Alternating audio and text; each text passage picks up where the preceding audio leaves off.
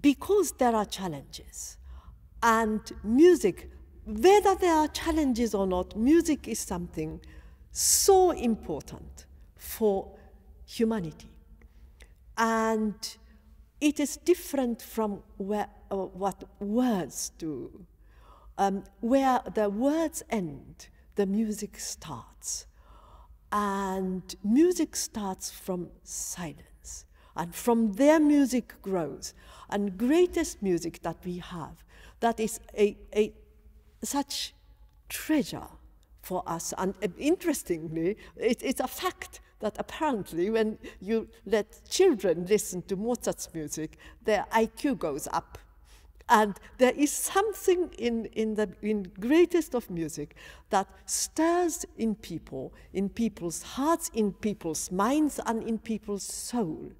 But uh, something uh, that other things don't. As, well, okay, there are some great art. There is uh, but I do love to, to, to go and see, for example, the resurrection uh, of Christ in San Sepolcro by Piero della Francesca.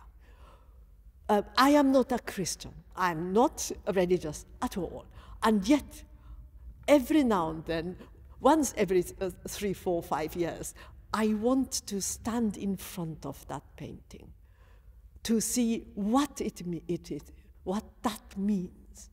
Because there in that painting, a man stands who has been dead. And that is such an experience. And in music, in every music, there is something, in great music, there is something different. And people can experience different emotions and make discoveries. And you, you can be transported. And so, therefore, it is so important.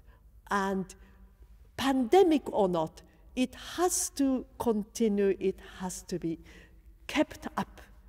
And not to say, oh, it, it, it's, uh, there are easier things. Of course, there are easier things.